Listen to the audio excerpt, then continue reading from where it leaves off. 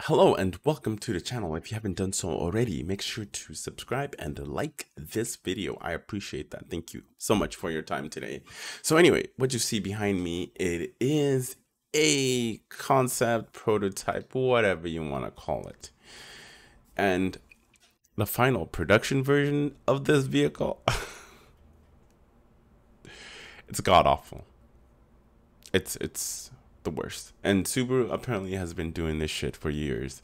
Every time they show an amazing looking concept and or an amazing looking prototype or whatever, the final production version of that said vehicle looks like complete trash.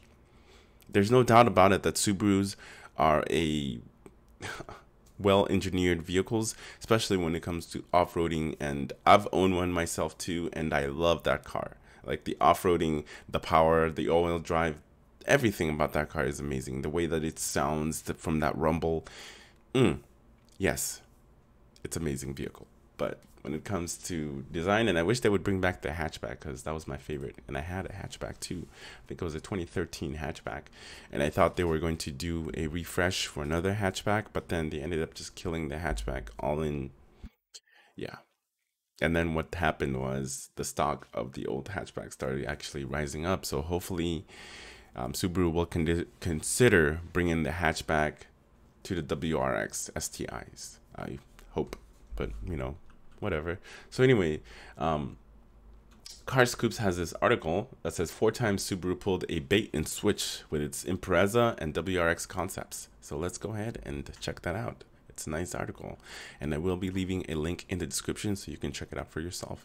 And I just put this one in the background. Um, I know you can't see it, but I put the vehicle in the background because that was one of their best looking prototype. I mean, I love that prototype and I was super excited. And then the production version happened and complete disappointment.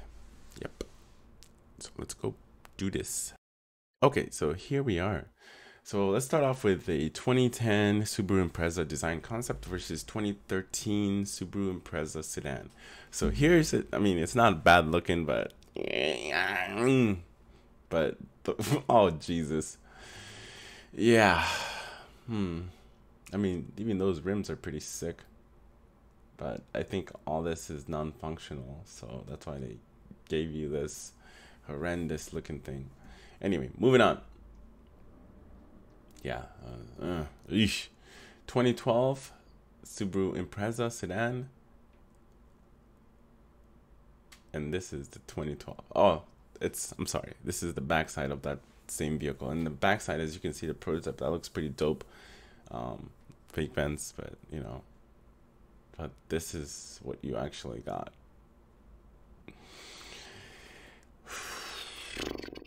Anyway, there's a ton more examples coming. Subaru Impreza, the WRX concept versus 2015. 2013, that's the one. Man, if they made this, I don't know. If they made it now, I would, I don't know. I don't know. Financially, if I was good, I, I might. But so this is what you get. You got this nice looking wide stance and the way that car sits, the, like I dig it. Like the wide stance, lower looks good, but this is what you got instead. Come on, Subaru. Come on. That's not even close. They couldn't even keep the damn grill. just, just, mm, just the grill. Oh. And then it's just not, not even close to the, the maybe the, the side marker is right here. That's it. But nothing is kept from this prototype or concept car. Nothing, nothing is kept at all. Oh, not even the rims. The rims are sick. Those Brembo brakes are sick. They could have made this an STI, and but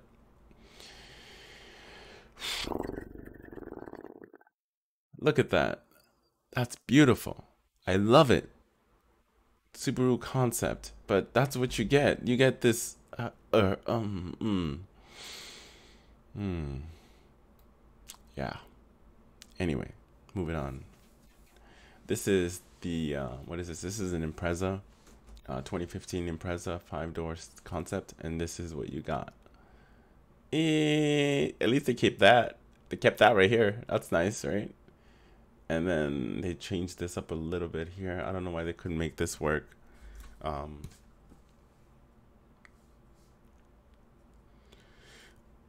hold on. But yeah, they could have they could have made it work, but regulations and everything is pretty much different in every country. Um, United States has different regulations than the European, vice versa. You know, there's certain things that they have to have on their vehicles. Uh, maybe they couldn't make it work, but damn it, why don't you? Here's an idea. It's a million dollar idea, okay? Subaru, you ready? If you're watching this video, you're probably not, but if you are watching this video, here's a million dollar idea, a billion dollar idea.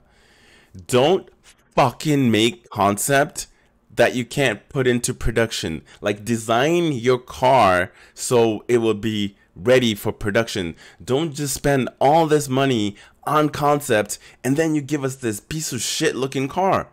You know, design exactly with every regulations in mind. Don't just go crazy and then not even copy a single tiny thing from the from your freaking concept vehicles. Don't do it. Just design it so where it meets the regulations so then you can just go into production and you're production ready or if not just have it so where you can change a few things here and there um, but other than that you know what's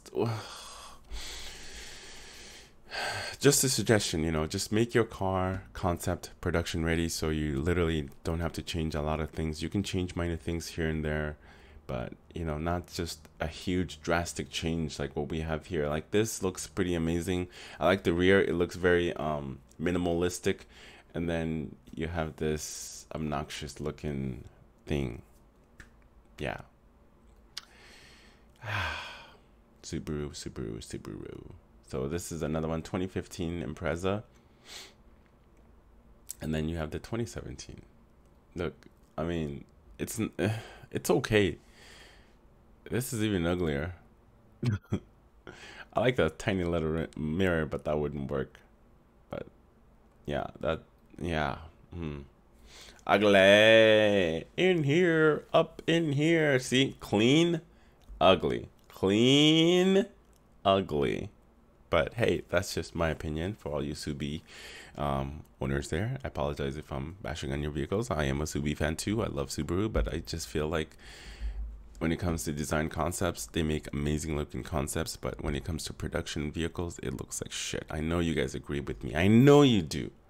And it can be frustrating. Just like this prototype that they put out looks nice, elegant, futuristic, but none of that shit is going to stay. Not even close. Even by this, they already keeping the same style. Like if you go to like the older model, 2013, 15, um, Ah, I think I went too far. Did I go too far? Let me see. Uh, I think this one right here. It seems like they're keeping that same style here with the hood, but I could be wrong. But from the photo or of the production ready 2022 WRX, you can kind of see, uh, you can kind of see it right here in the front, just a little bit, a smidge. It looks like the 2013. To be honest, you know. But anyway, let me know what you guys think. Um, oh, and I also have the Type R here. So this is the Type R concept. And guess what? They didn't have to change a lot of things. This car is what we have. Everything here is what you have. And I loved the wrap that was on this vehicle so much that I wrapped my car the same thing. Gunmetal or something like that. Um, but yeah, literally like everything about the prototype looks exactly like the production version? Why couldn't Subaru do something like that? Huh? Literally, like the Type R you see here, the prototype, that's what we got. That's what I have in the garage temporarily. But anyway, that's my little rant. I hope you enjoyed it. Um, go ahead and leave a like on the video if you enjoyed it. And as always, you guys have yourself a very lovely day, okay? I'm out.